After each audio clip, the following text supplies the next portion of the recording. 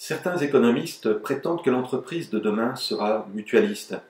Il est vrai que ces valeurs humanistes de protection et de solidarité trouvent euh, aujourd'hui un écho nouveau avec la montée en puissance du, numérique, en particulier auprès de ces entreprises qui allient euh, valeur et développement, à l'instar de l'initiative euh, Weasel d'un Total qui utilise son réseau de distribution du continent africain pour faciliter le soutien des diasporas auprès de leurs proches restés au pays C'est ce type de questions, parmi de nombreux autres thèmes euh, développés dans notre dictionnaire passionné, que nous investiguons au CRAPS.